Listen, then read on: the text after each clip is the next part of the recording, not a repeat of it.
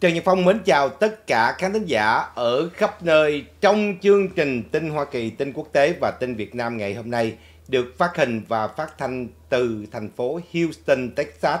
Trước hết cảm ơn tất cả bạn bè khán giả ở khắp nơi đã chọn channel của Phong để theo dõi các bản tin hàng ngày, các bài nói chuyện, phân tích, đối chiếu, so sánh trên tinh thần chủ quan của Phong cũng như là phần thảo luận của tất cả chúng ta sau mỗi một bản tin. Cảm ơn mọi người rất là nhiều. Và nhanh chóng đi vào phần tin tức ngày hôm nay. Đầu tiên hết là phần tin quốc tế. Ngũ giác đài cho biết là lực lượng Hoa Kỳ sẽ rút khỏi Niger vào giữa tháng 9. Bản tin mới nhất từ phía Washington cho biết thì lực lượng quân sự Hoa Kỳ được lệnh rời khỏi Nigeria và ở quốc gia Tây Phi này à, sau khi chính quyền quân Việt tại đây đã yêu cầu Hoa Kỳ rút quân ra khỏi đây. Và thời hạn để rút quân là giữa tháng 9 theo tường trình của ngũ giác đài và giới chức quốc phòng của Niger đã đưa ra cái lời thông báo vào ngày Chủ nhật và thời gian của cái à, uh, cuộc rút quân này sau khi có cuộc đối thoại kéo dài 4 ngày giữa lực lượng uh, quốc phòng của uh, của quốc gia này ở tại tại cái uh, thành phố thủ đô là Niamey.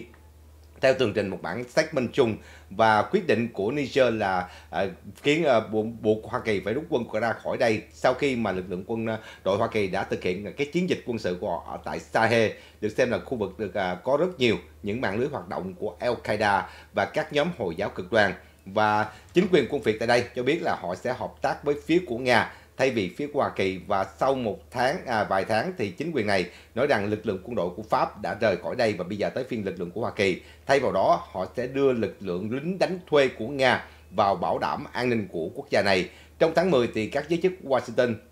nói rằng họ đang à, à được cái số cái à, số mạng của 1.000 binh sĩ Hoa Kỳ trú đóng tại đây sẽ được quyết định bởi chính quyền vừa mới đảo chánh của lực lượng quân Việt. Và có khoảng 1.000 người đang đấu trú đóng tại đây và họ đang trú đóng ở một cái căn cứ quân sự gần ở Agadez với khoảng 550 dặm cách cái thủ đô. Và đây được xem là một trong những cái quyết định của phía ngũ giác đại đưa ra. Sau khi mà chính quyền quân Việt của Niger đã yêu cầu phía Hoa Kỳ rời khỏi đây sau khi yêu cầu Pháp và giờ đây là lực lượng mà được xem là bảo vệ an ninh và hỗ trợ an ninh cho phía của Niger là lực lượng lính đánh thuê của Nga. Đó là bản tin liên quan tới tình hình quốc tế ngày hôm nay. Và sau cái tai nạn về à, trực thăng của ông tổng thống của Iran qua đời cùng với ngoại trưởng thì cơ quan tình báo CIA và cựu à, giám à, lãnh đạo của cơ quan này đã lên tiếng và nói rằng là việc mà chọn cái người kế nhiệm sẽ là cái kẻ cứng rắn hơn và có một cái à, à, gọi là khuynh hướng ủng hộ khủng bố của ông à, Kamani tức là nhà lãnh đạo tối cao. Iran sẽ có một cái chế độ chuyên chế hơn và trong đó họ sẽ ủng hộ mạnh mẽ cho cái à, ý tưởng của ông Kamani là hỗ trợ cho các nhóm dân quân Hồi giáo tại Trung Đông nhiều hơn là sẽ là cái người được chọn thay thế cho ông tổng thống vừa mới qua đời của Iran. Đó là lời phát biểu của một chuyên gia về chính sách quân sự và là một cựu viên chức tình báo CIA là Dan Hoffman đã đưa ra. Tôi nghĩ rằng sẽ tiếp tục có một cái tình hình tổng quát trong cái chính sách đối ngoại của Iran. Điều này có nghĩa là sẽ có sự bức hại từ trong nội địa Bên cạnh đó, sẽ tiếp tục ủng hộ cho Hamas và đây là cái trục mà phía họ cần thiết để chống lại Hoa Kỳ và kể cả Do Thái và kể cả việc mà họ sẽ bắt đầu có những cái chính sách gọi là chuyên chế hơn tương tự như là Nga, Trung Quốc và Bắc Hàn. Ông đã phát biểu trong một cái cuộc phỏng vấn mới nhất. Cựu à, cơ quan nhân viên tình báo và lãnh đạo của một cái à, trạm tình báo CIA nói với lại đài truyền hình Fox News là ông dự tính người sẽ thay thế cho ông Raisi vừa mới qua đời. Thì nhà lãnh đạo là Ayatollah Ali Khamenei sẽ bắt đầu là cái người hoạch định chính sách cho Iran chứ không phải là tổng thống. Và ông ta sẽ chọn cái người mà còn được xem là hỗ trợ cho cái chính sách đối ngoại của Iran, trong đó sẽ bày tỏ thái độ cứng rắn hơn, hỗ trợ nhiều hơn cho chủ nghĩa khủng bố và xem chủ nghĩa khủng bố là một cái à, phương à, và một cái công cụ để mà đối phó với lại Tây phương, Hoa Kỳ và kể cả phía Do Thái và tôi nghĩ rằng tân tổng thống này, một kẻ được chọn lựa sẽ đứng chung à, trong cái vòng phong tỏa và trong cái vòng ảnh hưởng của nhà lãnh đạo tối cao. Đây được xem là lời nhận định mới nhất của một cựu viên chức cơ quan tình báo CIA sau khi mà xảy ra một cái tai nạn trực thăng khiến cho ngoại trưởng của Iran và tổng thống Iran đã đồng một lượt qua đời trong một cái tai nạn diễn ra ở gần biên giới của Azerbaijan ở phía tây bắc của Iran. Đó là bản tin liên quan tới tình hình của quốc tế ngày hôm nay. Và liên quan tới Hoa Kỳ ngày hôm nay, đầu tiên hết là bản tin cơ quan FDA đã dọn đường cho công ty Neuralink của ông à, Elon Musk có thể sẽ cấy chip điện tử vào cho người bệnh nhân thứ hai. Bản tin mới nhất cho biết thì cơ quan kiểm soát về y tế của Hoa Kỳ là cơ quan FDA đã cho phép nhà tỷ phú Elon Musk và công ty của ông ta là Neuralink sẽ bắt đầu à, thực hiện cấy cái con chip vào não bộ của một bệnh nhân thứ hai sau khi mà họ nói rằng họ đã điều chỉnh được cái vấn đề xảy ra cho người bệnh nhân đầu tiên theo tường trình của tờ Wall Street Journal đưa ra vào ngày thứ hai. Đầu tháng này, Neuralink cho biết là họ đã có một cái uh, sợi uh, dây rất mỏng ở trong cái hệ thống cấy chip điện tử này đã gây ra một chút phản ứng. Tuy nhiên, họ đã kịp thời điều chỉnh theo từng tình của hãng thông tấn Reuters đưa ra hồi tuần trước và công ty này cho biết là họ đang thử nghiệm các cái hệ thống dây mà nối kết giữa não bộ và con chip điện tử. Và công ty này nói rằng họ đã cho điều chỉnh và chỉnh lại tất cả những cái uh, hệ thống này và nó đã hoạt động một cách an toàn hơn và không gây ra bất kỳ một cái phản ứng nào và Neuralink dự tính là sẽ bắt đầu à, lắp đặt thêm một cái thiết bị vào bệnh nhân thứ hai vào tháng 6 sắp tới đây. Trong tổng số có 10 người đã tình nguyện tham gia vào trong cái uh, chương trình thử nghiệm này của công ty Neuralink, tức là công ty của ông Elon Musk, một công ty đã sản xuất chip điện tử cấy vào não bộ của con người. Đây được xem là một trong những cái quyết định mới nhất của cơ quan FDA sau khi mà họ đã nói rằng là họ đã cho giám sát chặt chẽ cái tiến trình cấy chip điện tử và những cái phản ứng xung quanh đó. Tuy nhiên FDA nói rằng họ không thể công bố tất cả những cái chi tiết liên quan tới việc mà thử nghiệm trên con người cho tới khi mà có một cái thông báo chính thức và được xác nhận bởi cơ quan FDA. Đây được xem là một trong những cái tin tức mới nhất liên quan tới việc công ty của ông à, Elon Musk đã bắt đầu cho cấy con chip vào con người. Đó là bản tin liên quan tới tình hình của Hoa Kỳ ngày hôm nay. Và cũng liên quan tới Hoa Kỳ ngày hôm nay, Chủ tịch khối đa số tại Thượng viện là ông Chuck Schumer cho biết là ông đã nói với các thành viên của đảng Dân Chủ là tái giới thiệu một dự luật lưỡng đảng liên quan tới vấn đề của biên giới Hoa Kỳ. Chủ tịch khối đa số ông Chuck Schumer ở Thượng viện sẽ đưa một cái dự luật của lưỡng đảng liên quan tới vấn đề an ninh ở biên giới để đàm phán trong năm nay và trong tuần này sau khi mà các thượng nghị sĩ nói rằng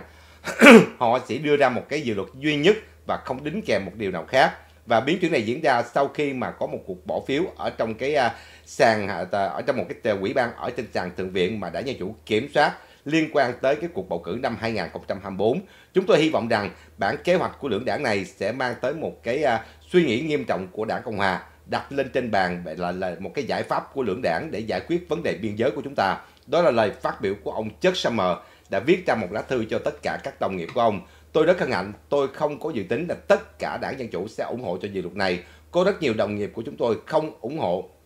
cho việc mà cung cấp đạo luật này. Và tuy nhiên tôi vẫn à, đã, đã, đã, đã đạt được sự đồng ý của phía đảng cộng hòa để à, để cho các thượng nghị sĩ tự quyết định. Và điều này tôi không khuyến khích bỏ bỏ phiếu hay không bỏ phiếu mà nó liên quan tới vấn đề cải tổ về cái luật di trú của hoa kỳ và dường như đây là một cái dự luật mà đã được đưa ra bởi à, à, các thượng nghị sĩ gồm có ông à, Chris Murphy của đảng Dân Chủ tại à, à, Chris Murphy của đảng Dân Chủ và bà à, thượng nghị sĩ Christine Sinema của đảng độc lập và thượng nghị sĩ James Lafford của đảng Cộng hòa gồm ba người trong đó họ đàm phán sau khi mà các à, thành viên của đảng Cộng hòa tại sàn thượng viện nói rằng họ sẽ không bỏ phiếu cho một cái việc à, đính kèm cái hỗ trợ cho Ukraine mà không thực hiện tất cả những cái bảo vệ biên giới an toàn của Hoa Kỳ. Các nhà lập pháp đang làm việc ở phía sau trường trong vài tháng qua để đàm phán trong dự luật này. Tuy nhiên, dự luật này thì trong đó sẽ có những cái hành động cứng rắn hơn đối với những người tìm kiếm tị nạn tại Hoa Kỳ và băng ngang qua biên giới một cách bất hợp pháp và trong đó vốn đã bị đảng Cộng hòa phản đối mạnh mẽ và cựu tổng thống Trump tuyên bố sẽ trục xuất tất cả những di dân bất hợp pháp. Đây được xem là một trong những quyết định mới nhất của ông à, chất Summer đưa ra cho thấy là có áp lực đối với các thành viên của đảng Dân Chủ trong vấn đề siết chặt an ninh biên giới. Đó là bản tin liên quan tới tình hình của Hoa Kỳ ngày hôm nay. Và cũng liên quan tới Hoa Kỳ ngày hôm nay, các thành viên của đảng Dân Chủ tại Hạ viện yêu cầu rằng sẽ cắt bỏ việc hỗ trợ cho những sinh viên đại học nào mà có tham gia vào cuộc biểu tình bài Do Thái.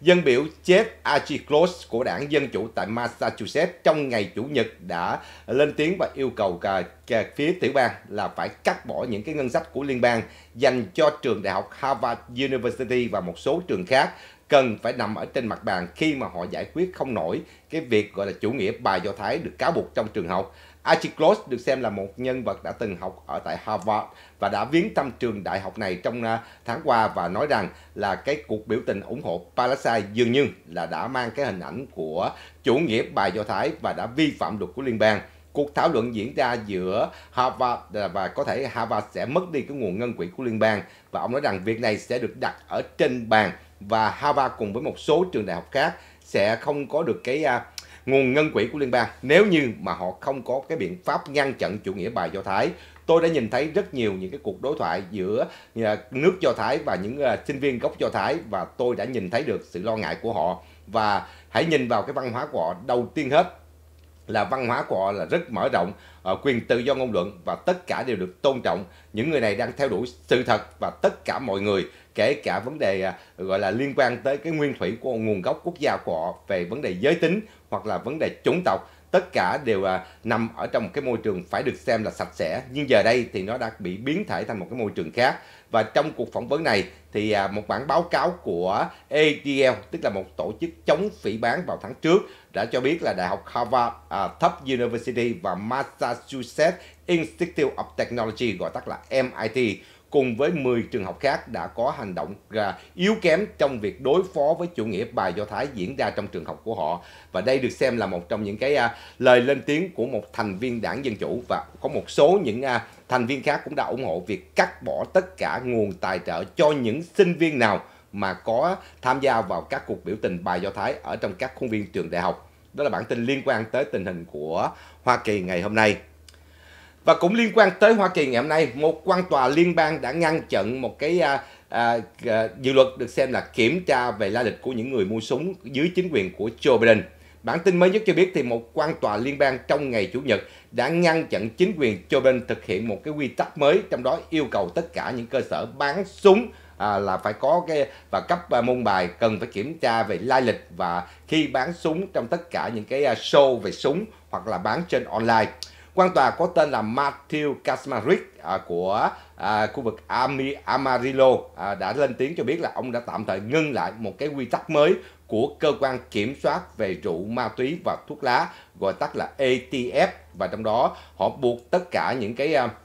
nơi cơ sở bán súng và đặc biệt là những cơ sở bán súng online và trong những cái à, gun show là phải tăng cường kiểm tra lai lịch của những người mua súng. Tôi tin rằng chúng ta không thể à, giới hạn à, bởi vì cái này nó vi phạm rất rõ ràng vào cái tu chính án số 2 của Hoa Kỳ. Và đây là điều bất hợp pháp đó là lời phát biểu của quan tòa đưa ra. Trong khi đó thì bộ trưởng tư pháp của tiểu bang Texas là ông Paxton cũng lên tiếng và nói rằng à, cái lệnh này và cái quy tắc mới của cơ quan ATF tức là cơ quan kiểm soát về rượu ma túy và thuốc lá đã vi phạm trầm trọng vào trong cái à, tu chính án số 2 của Hoa Kỳ và quan tòa Kasmarik được xem là người đã được ông Trump bổ nhiệm đã đưa ra cái phán quyết này có hiệu lực vào ngày thứ hai để đối phó với tình trạng mà có cái đơn kiện của Texas và những nhà hoạt động bảo vệ cho quyền à, sở hữu vũ khí cùng với lại ba cái tiểu bang do đảng Cộng hòa quản trị. Và đơn kiện này à, đã đưa ra cái phán quyết cuối cùng vào tháng trước khi mà tổng thống của đảng Dân Chủ là ông Joe Biden nói rằng nó sẽ có ảnh hưởng tới ít nhất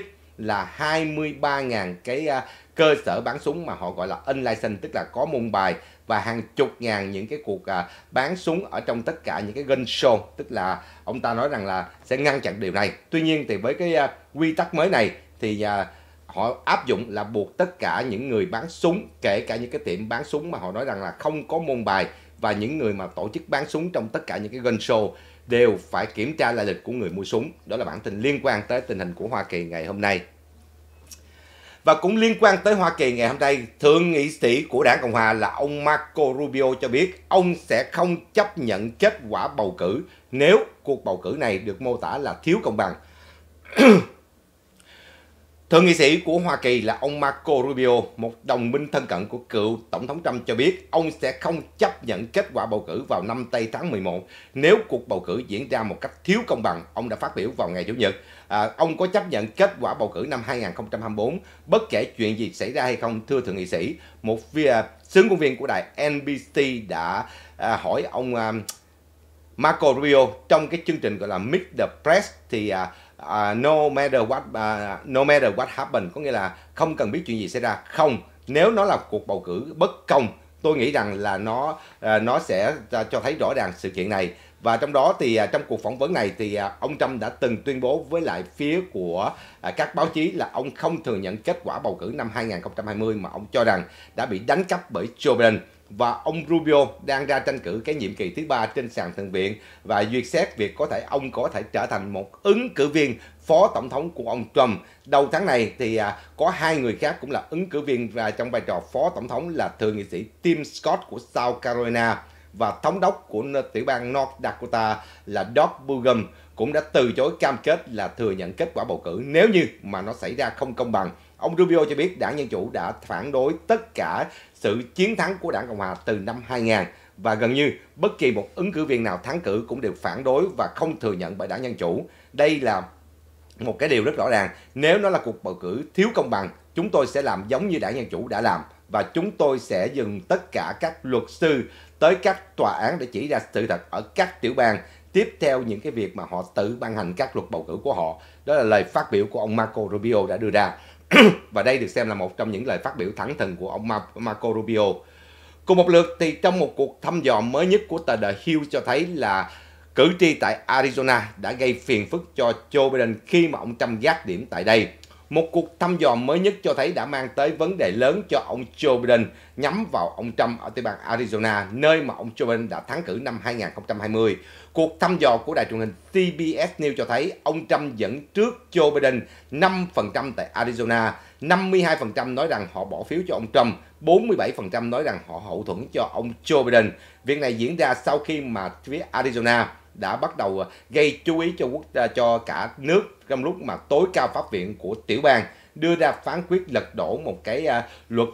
nghiêm cấm phá thai từ năm 1864 và trong đó bất kỳ một hành động phá thai nào đều trở thành trọng tội và bây giờ đã được lật đổ. 51% cử tri Arizona nói rằng vấn đề phá thai là một trong những vấn đề quan trọng mà họ quyết định bầu cử tổng thống năm 2024 và 65% những người mà à, bầu cử nói rằng họ có thể ủng hộ cho hiến pháp về quyền bầu cử ở tiểu bang và chiến dịch tranh cử của Joe Biden ngay lập tức đã phản ứng với lại cái à,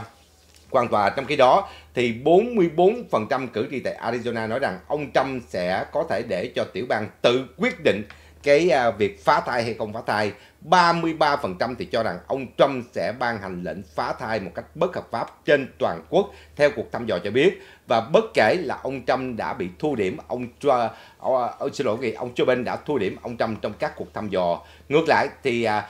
Dân biểu Ruben Gallego à, của đảng Dân Chủ tại Arizona vẫn đang dẫn trước bà Cadillac, một người được ông Trump hỗ trợ, với con số khá sai biệt lớn là ông à, Gallego đã được 49%, trong khi bà Lake chỉ được có 36% trong việc chạy đua vào ghế thượng nghị sĩ của tiểu bang này. Cuộc thăm dò thực hiện từ ngày 10 tới ngày 16 tây tháng 5 với 1.510 người trưởng thành ở tại Arizona với mức sai biệt là 3.3% à, cho cái cuộc thăm dò này. Đó là bản tin liên quan tới tình hình của Hoa Kỳ ngày hôm nay.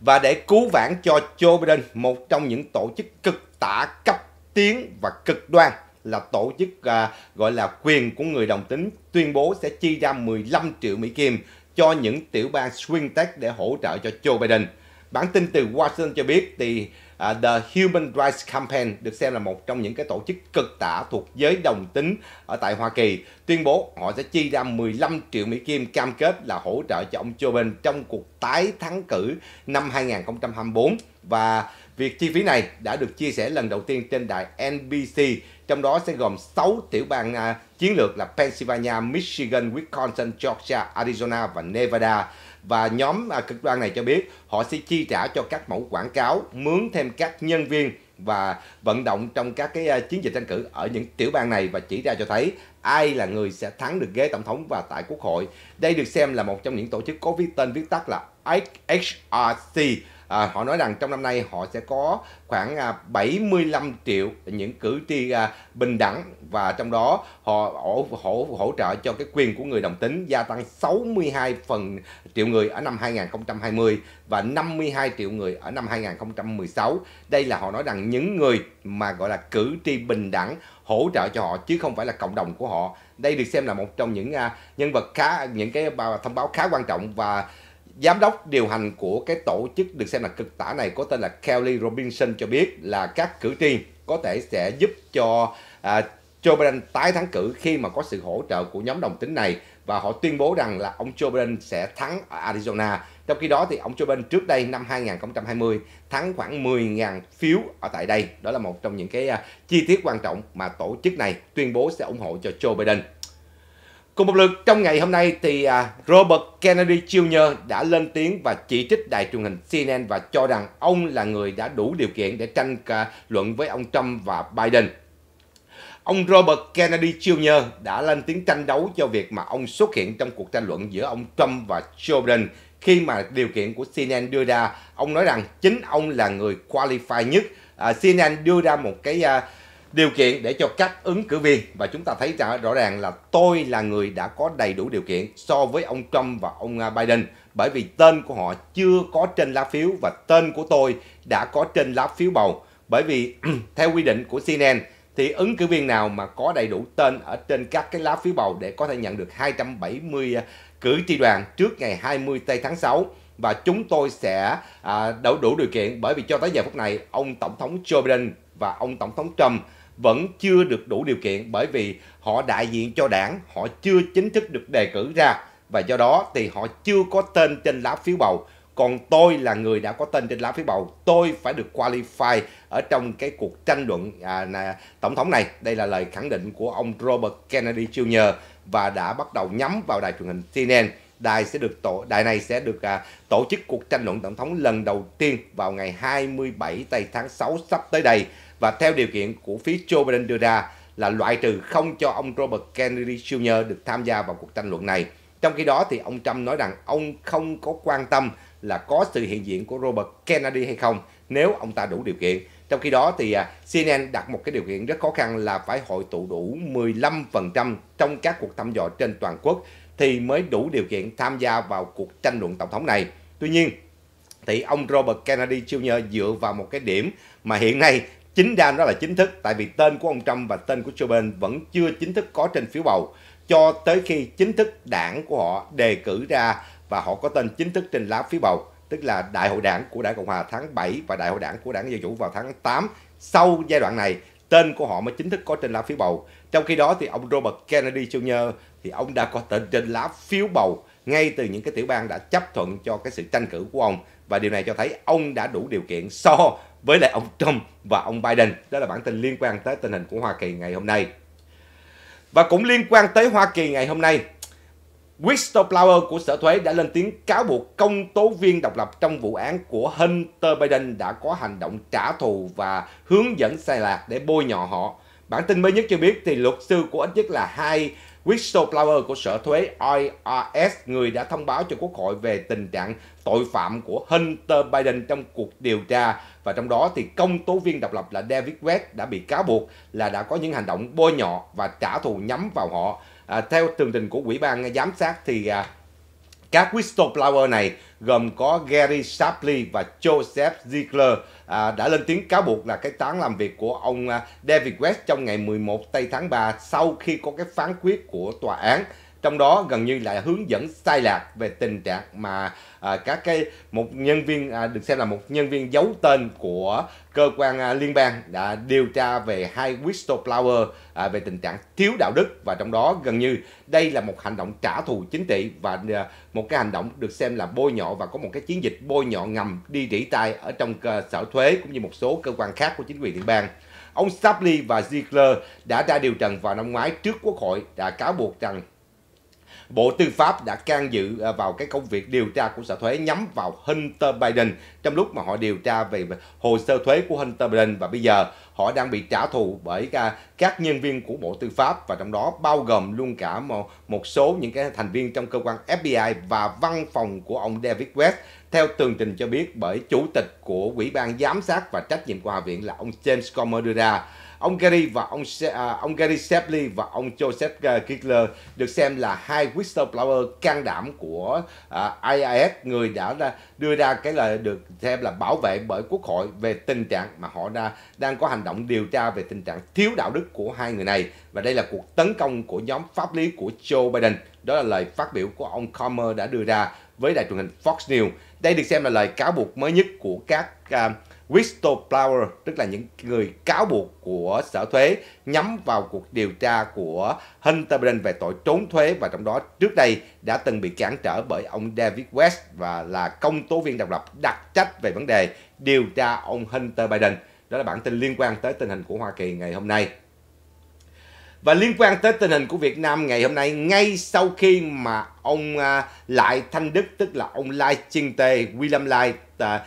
tuyên thệ nhận chức tân tổng thống của Đài Loan, chính quyền Hà Nội tuyên bố kiên định thực hiện cái chính sách một nước Trung Quốc. Đây được xem là một trong những cái quan điểm Cộng sản Việt Nam trong lúc mà nguồn đầu tư của Đài Loan ở Việt Nam được xem là nằm trong số 4 quốc gia có nguồn đầu tư lớn nhất tại Việt Nam. Tuy nhiên thì Cộng sản Việt Nam vẫn tiếp tục à, lắng nghe cái áp lực từ phía của Bắc Kinh và tuyên bố rằng họ sẽ tiếp tục tuân thủ và tôn trọng một cách kiên định với lại cái chính sách một nước Trung Quốc và nói rằng Đài Loan là một phần lãnh thổ không thể tách rời của Trung Quốc. Đây được xem là một trong những cái quan điểm của chính quyền Hà Nội giữa lúc mà nhiều quốc gia ở khu vực đã bắt đầu à, có cái khuynh hướng thừa nhận cái vai trò độc lập của Đài Loan. Đây được xem là một trong những cái à,